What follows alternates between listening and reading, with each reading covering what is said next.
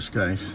My rear view mirror has fallen off again. This is the third time it has fallen off. I've tried 3M, Permatex, and Loctite glues, and they all failed within weeks or month under the hot weather.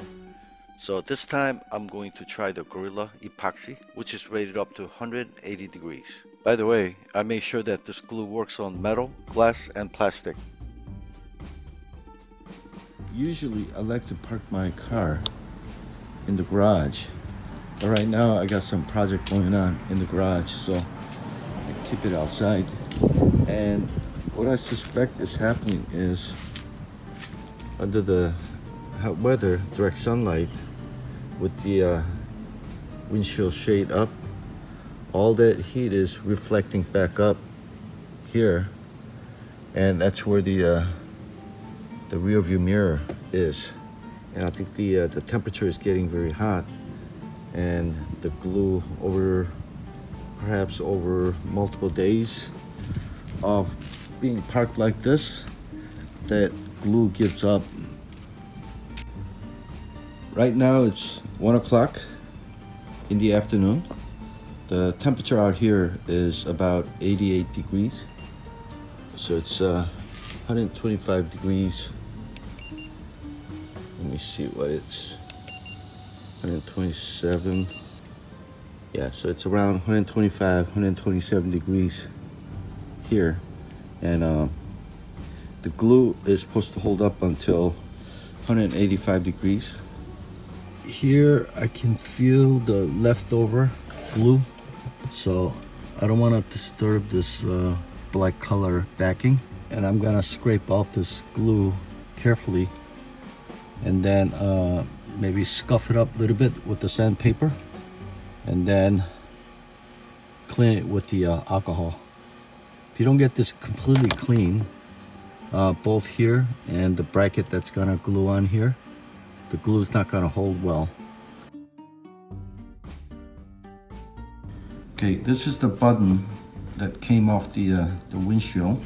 There's still uh, glue residue that's kind of left in there. It's, it's sticky, actually on both sides. So I'm gonna scrape it off and then I'm gonna use a sandpaper. I think this is the 240.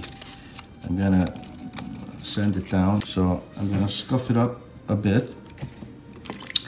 Then I'm gonna clean it with the alcohol thoroughly uh, with the cotton pads. It's under pretty, pretty tight, so you're gonna have to really scrape it. Um, I've been at it for a few minutes now, and it does come off, as you can see, okay? But be super careful.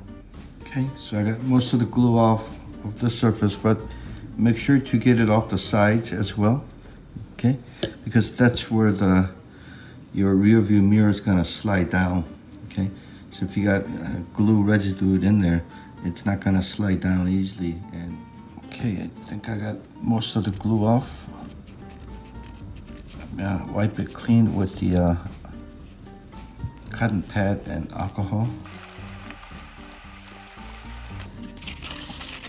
All right, I'm gonna take a sandpaper and don't scuff up the edge here. Okay, that's where the rear view mirror is gonna slide down.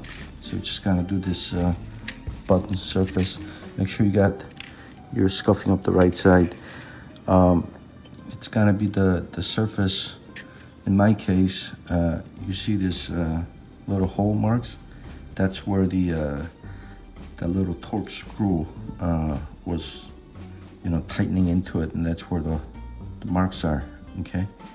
So my, this side here is the side that's gonna glue to the, the windshield, okay?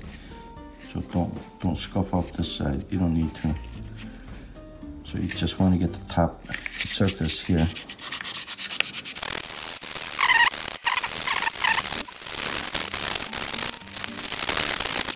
Okay, I think that's enough. Gonna clean it with the uh, alcohol again.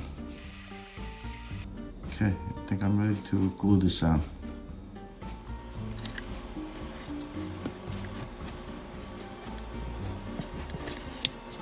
Okay, you see that glue coming off?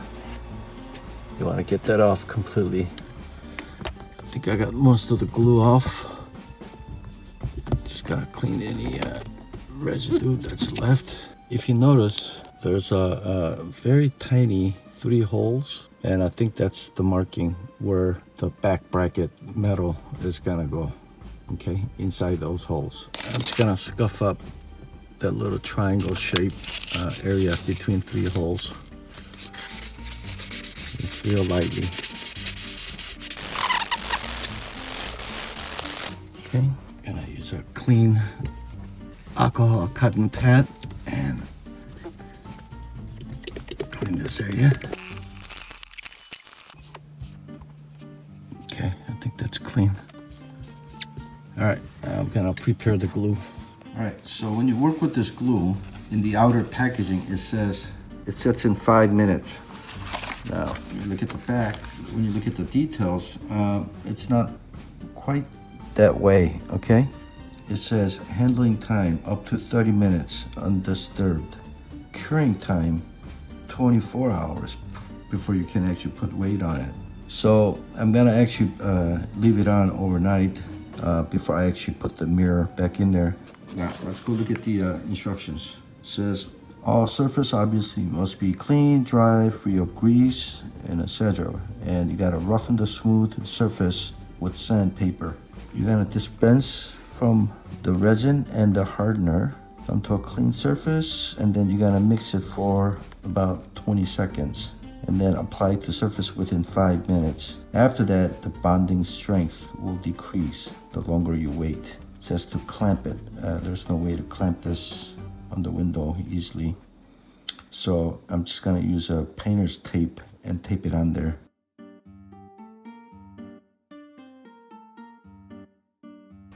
All right, so get everything ready because you have to move quick. Once you start this, don't touch the surface that you're gonna glue, okay? I got the black cap that I broke off from the middle here because once I squeeze squeeze this out I'm gonna plug it back in so I'm gonna break this off I'm gonna squeeze now you don't need a whole lot but I just need to get that yellow side to come out a little more now I'm gonna wipe that off I'm gonna plug this and I'm gonna pull back on the syringe a little bit to relieve the pressure. Okay, so you're supposed to mix it 20 seconds. I think it's mixed pretty well. Okay, I'm gonna apply, uh, gonna try not to get to the edge too much because I don't want it to spill over onto the, the edge that's gonna, where the rear view mirror is gonna slide in. I'll try to leave a, maybe a 1 8 inch uh, gap before reaching the, uh, the edge.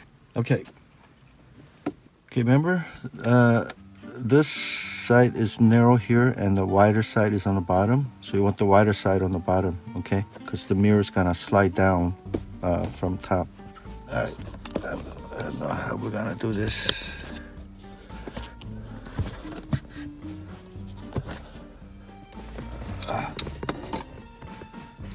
Okay, so I got it glued on there. Traditional rear view mirror glues, you put it on, on within a second or two, it's gonna stay where you put on. I mean, literally, you got like, you know, maximum maybe like two seconds, maybe three seconds. But this one, it was moving around. Uh, if I, I held it up there for about 30 seconds and I let it go and it was uh, kind of sliding down. So I had to hold it up there probably over a minute until it stabilized and uh, cut the tape and put the tape on there. So, okay, I added a little bit more tape uh, so that it's, uh, it's gonna hold it in place. So I made a mistake and uh, didn't hit the record button, so I didn't get the, the reinstallation uh, video. But I've already done this uh, more detailed video on how to uh, uninstall and reinstall a rear view mirror in the previous video. So I'll just show you a little bit of clips from it and I'll add the link to that video uh, in the descriptions. Okay, she's back on. Looks pretty sturdy. Um, I'll report back if this falls off again. Hopefully this will last longer.